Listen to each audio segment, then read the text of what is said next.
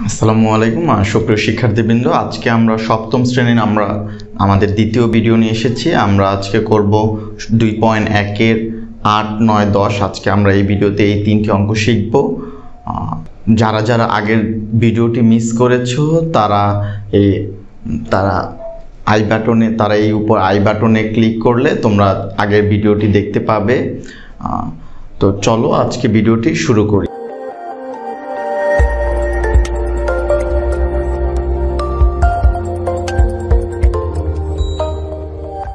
শিক্ষার্থীবৃন্দ, আমাদের আট নম্বরে যে অঙ্কটি দেওয়া ছিল ছিল যে একুশশো ষাট টাকা, আর রুমি, জেসমিন ও কাকুলির মধ্যে এক, দুই ও তিন অনুপাতে ভাগ করে দিলে কে কত টাকা পাবে। যেহেতু আমাদের তিনটি অনুপাত দেয়া আছে এবং তিনজনের টাকার পরিমাণ বের করতে বলা হয়েছে, আমরা এটি খুব সহজেই কোর্স শিখে নিব আজকে। তো চলো শুরু করা যায় প্রথমে দেওয়া আছে দেওয়া আছে রুমি, জেসমিন ও কাকলির টাকার অনুপাত। যে অনুপাতটি দেওয়া আছে আমাদের এক ইস্টু দুই ইস্টু তিন। এবার যেহেতু তিনজনের অনুপাত দেওয়া আছে, আমরা তিনজন অনুপাতটি যোগ করব। সুতরাং তিনজনের তিনজনের অনুপাতের যোগফল, আমরা যদি যোগ করি এক যোগ দুই যোগ তিন, সুতরাং হচ্ছে দুই, এক, তিন তিন, ছয়। ছয়। তো এখন তিনজনের অনুপাত হচ্ছে ছয়। সুতরাং এক্ষেত্রে আমি আবারও বলছি, আমরা আগের ভিডিওতেও বলে, বলা হয়েছে আমাদের যে এই অনুপাতের ক্ষেত্রে খুব সহজ একটি নিয়ম হচ্ছে যে যার অনুপাতটা দেয়া থাকবে। এখানে যেহেতু তিনজনের অনুপাত দেয়া আছে, তাই আমরা এখন আমরা প্রথমে বের করব রুমির টাকা। তো তিনজনের অনুপাত দেওয়া আছে, আমরা মোট অনুপাত দিয়ে ভাগ করব, রুমির অনুপাত দিয়ে গুণ করব। তাহলে আমরা রুমির টাকা পাবো। কীভাবে দেখো? সুতরাং রুমি পাবে রুমি পাবে মোট টাকা একুশশো একুশশো ষাট এর। আর মোট অনুপাত ছয়, আমরা মোট অনুপাত দিয়ে, রুমি অনুপাত দিয়ে গুণ করব। ছয়, তিন, ছয়, আঠারো, ছয় ছয় ছত্রিশ তিনশো ষাট। সুতরাং এত টাকা। রুমি পাবে তিনশো ষাট টাকা। ওকে, এর পরবর্তীতে আমরা রুমি বের করেছি, এখন আমরা বের করব জেসমিন। সুতরাং জেসমিন জেসমিন পাবে একুশশো ষাট এর ছয় ভাগের জেসমিনের অনুপাত হচ্ছে দুই, তাই দুই দিয়ে গুণ এক।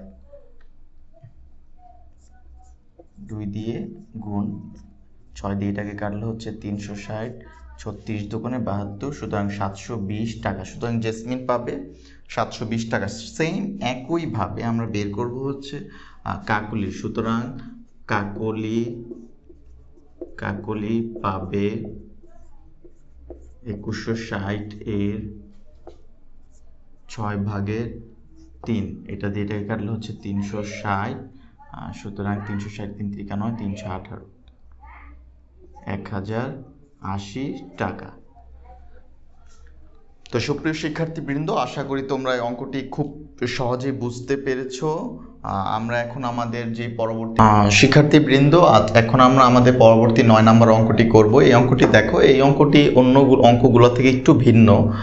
এখানে বলা ছিল যে কিছু টাকা লাবিব, সামি ও সিয়াম এর মধ্যে পাঁচ, চার ও দুই অনুপাতে ভাগ করে দেওয়া হলো।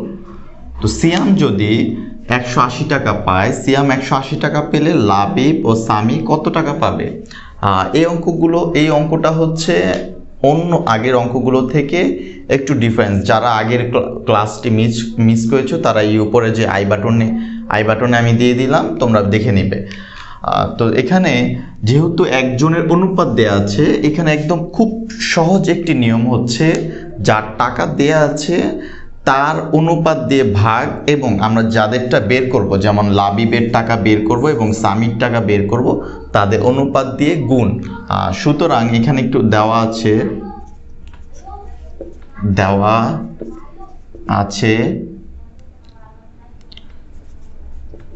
লাবিব সামি ও সিয়াম এর টাকার অনুপাত। পাঁচ ইস্টু চার ইস্টু দুই এবং সিয়াম পায় সিয়াম পেল একশো আশি টাকা। সুতরাং সুতরাং লাবিব পাবে, লাবিব পাবে। এখানে যেহেতু সিয়ামের টাকা দেয়া ছিল আমাদের সিয়ামের টাকা দেয়া ছিল, সিয়াম পাবে একশো আশি টাকা। এবং সিয়ামের অনুপাত, দেখো, সিয়াম হচ্ছে যেহেতু তিন নাম্বারে, সুতরাং তার অনুপাতটি হচ্ছে একদম শেষেরটি। তো সিয়ামের অনুপাত হচ্ছে দুই, আমরা একশো আশিকে সিয়ামের অনুপাত দিয়ে ভাগ, বের করছি লাবিবের, তাই লাভ লাবিবের অনুপাত দিয়ে গুণ পাঁচ। এত টাকা। সুতরাং দুই দিয়ে একশো আশি কাটলে হচ্ছে নব্বই, পাঁচ নং পঁয়তাল্লিশ, চারশো পঞ্চাশ টাকা। সুতরাং লাবিব পাবে চারশো পঞ্চাশ টাকা। এখন পরবর্তী আমাদের যে সামি, আমাদের সামিরটা বের করব। সুতরাং সামি পাবে আমরা সেম একশো আশি এর। আমরা সিয়ামের অনুপাত দিয়ে গুণ, আর সামির অনুপাত হচ্ছে চার, তাই আমরা চার দিয়ে গুণ করব। এত টাকা। দুই দিয়ে এটাকে কাটলে হচ্ছে নব্বই, চার নং ছত্রিশ, সমান সমান তিনশো ষাট টাকা। তো সামি পাবে তিনশো ষাট টাকা। তো, শিক্ষার্থীবৃন্দ, আশা করি খুব সহজেই তোমরা অঙ্কটি শিখে নিলে। এখন আমরা আমাদের যে পরবর্তী অঙ্ক, আমরা দশ নম্বর অঙ্কটি সুপ্রিয় শিক্ষার্থীবৃন্দ, আজকে আমরা আমাদের ভিডিওর শেষ ম্যাথটি করব। আজকে আমরা দুই পয়েন্ট নয়, দশ নম্বর যে অঙ্কটি, বলতে পারো এই অঙ্কটি খুবই গুরুত্বপূর্ণ একটি অঙ্ক এবং এই এই অঙ্কটি আসেনি এমন কোনো স্কুলে তুমি পাবে না। মোটামুটি বাংলাদেশের সবগুলো স্কুলেই এই অধ্যায়ের এই অঙ্কটি অবশ্যই পরীক্ষায় দিয়ে থাকে। তো বুঝতেই পারছ এই অঙ্কটি কতটুকু গুরুত্বপূর্ণ। আমি চেষ্টা করব তোমাদের এই অঙ্কটি খুব সহজেই তোমাদেরকে বুঝিয়ে দেওয়ার তো আগে আমরা প্রশ্নটি দেখো যে সবুজ, ডালিম ও লিঙ্কন তিন ভাই। তো তাদের পিতা ছ টাকা তাদের মধ্যে ভাগ করে দিলেন। এতে সবুজ পাবে ডালিমের পাঁচ ভাগের তিন অংশ এবং ডালিম পাবে লিঙ্কনের দ্বিগুণ।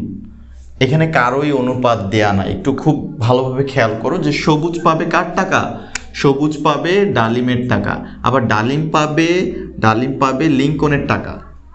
এখন তুমি যদি খেয়াল করো, আমরা যদি লিঙ্কনের টাকাকে ধরি লিঙ্কন থেকে আমরা ডালিমে কনভার্ট করতে পারব, আবার ডালিমের টাকাকে সবুজের টাকাকে কনভার্ট করতে পারব।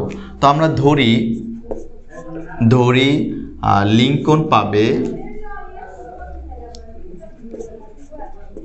ধরি,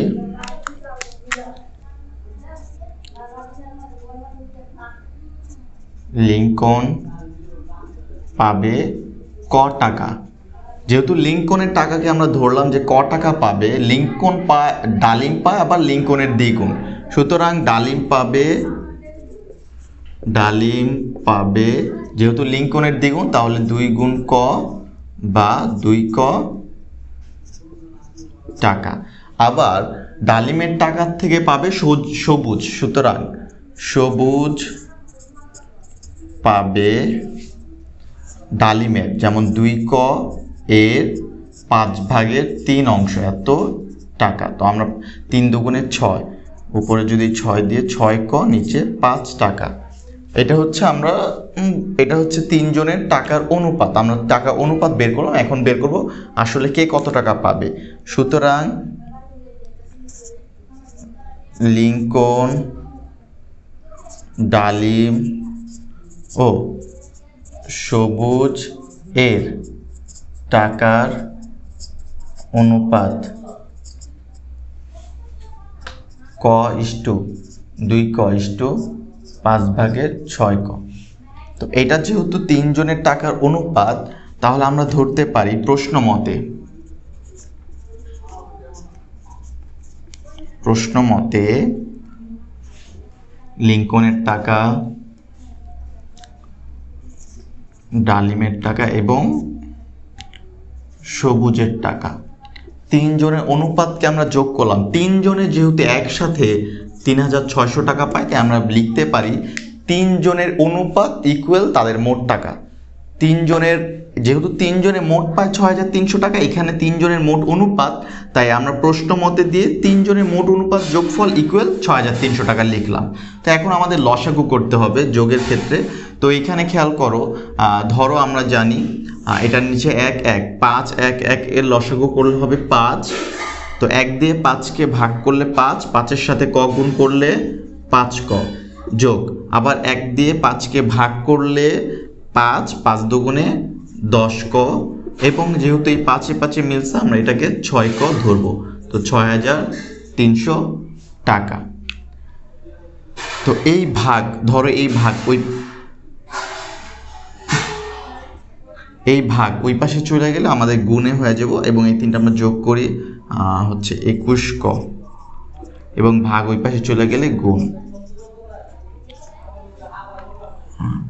আমরা ডাইরেক্ট সরাসরি গুণের টাকাটা দিই তিন পাঁচা পনেরো, তিন পাঁচ ছয় তিরিশ তিন পাঁচা পনেরো, পনেরোশো একত্রিশ হাজার পাঁচশো টাকা।